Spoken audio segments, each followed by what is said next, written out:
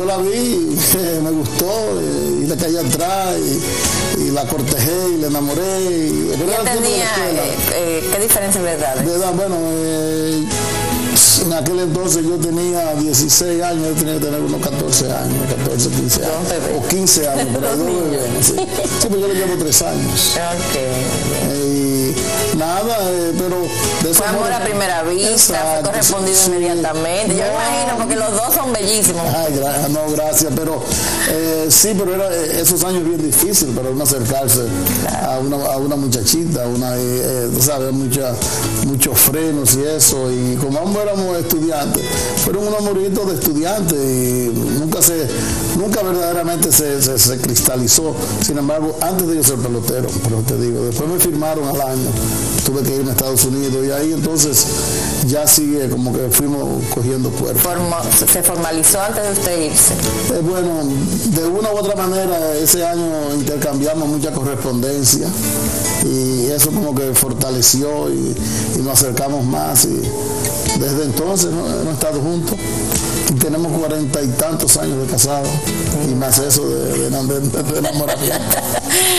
¿Cómo fue su vida en esa primera etapa donde era novio, pero no estaban, o sea, no había un compromiso en sí?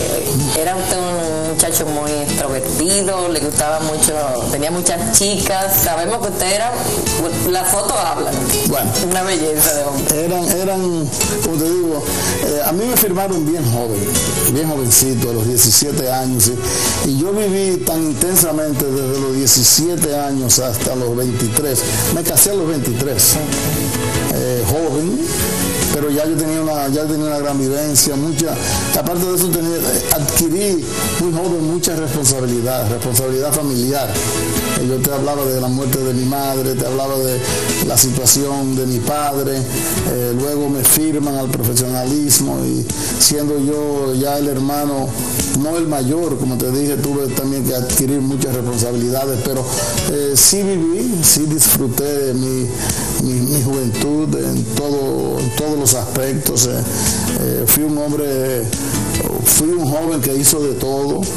Yo jugué mi béisbol, jugué mi pelota, yo disfruté, yo viví mi vida, yo eh, llegué. O sea que esos cinco años, seis años que estuvo soltero desde que se fue a Estados Unidos, vivió todo lo que podía haber vivido. Así hubiera llegado a ser un hombre de 30 años y que diga, entonces bueno, ya llegué a los 30 años, aunque aunque me casé, joven y hubo muchas tentaciones y he tenido siempre las tentaciones comunes que hay, pero gracias a Dios encontré una mujer que, me ha sabido, que me supo corresponder, que, me, ha sido una parte importante en el crecimiento.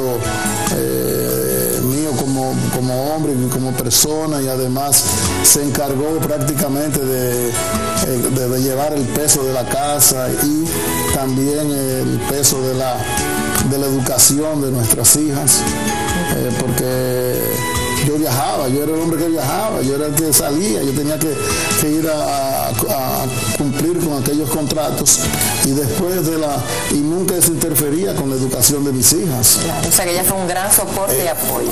Todavía, hasta el día de hoy, gracias a Dios. Aquel día que nos encontramos, qué, felicidad. Qué bueno. Cuando se casan, ¿cuánto tiempo duran antes de tener hijos? Eh, al año siguiente, eh, nuestra hija mayor Aracelis fue nuestro primer retoño, ella vivió esa etapa de viajes y, vio a, sus padres jóvenes.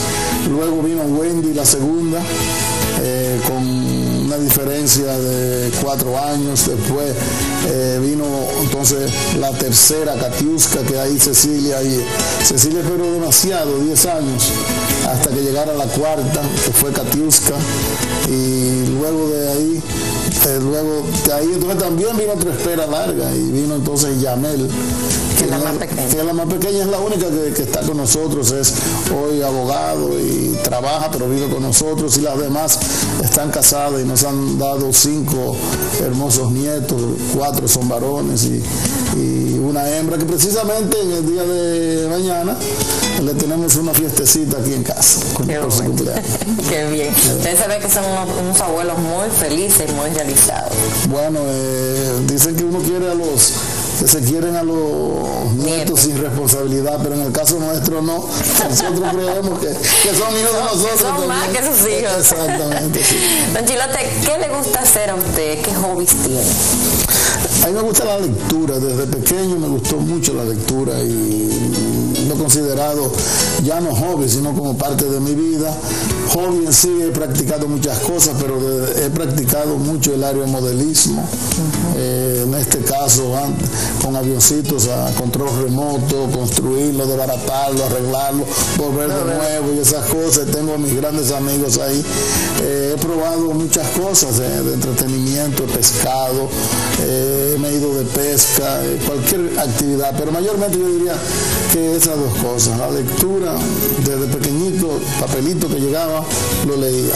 ¿Qué tipo de libros le gustan? Me gusta eh, de personajes, bibliografías, me gusta la, la, la, la, historia ficción, si podríamos decir, que, eh, que son libros que basados en personajes que, que mezclan la historia, lo histórico con, con la imaginación del actor. Eh, yo, mi gusto es amplio. Yo, como te digo, cuando chiquito, cuando yo cualquier papelito que me llegaba, yo lo leía. Ahora cualquier libro que yo vea, eh, lo leo y me gusta. Si no me gusta, lo dejo. Veo que tienen ustedes un hogar preciosísimo, con unas áreas bellísimas y, que se siente con mucha armonía y como mucha paz interior dentro como de hogar. Tiene un calor humano. ¿Qué usted aportó dentro de lo que se ha hecho en el hogar? ¿Y por qué cada área? Fíjate, eh, eh, este era nosotros teníamos este solar cerca de 25 años y nunca nos dedicábamos a construir ni nada porque nosotros y nuestras hijas todas eh, se criaron en el reparto que. Sin embargo, cuando pensamos que ya que iban a venir los, iban a venir los nietos, entonces pensamos en construir.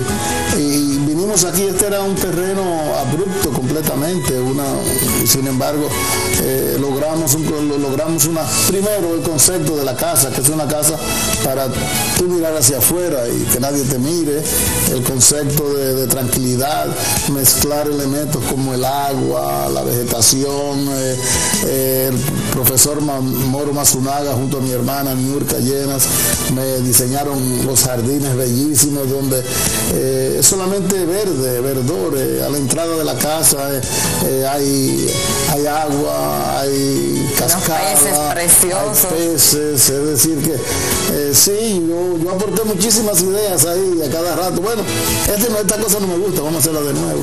O sea que entre usted y su esposa fue cada, cada, cada detalle de la casa fue consensuado.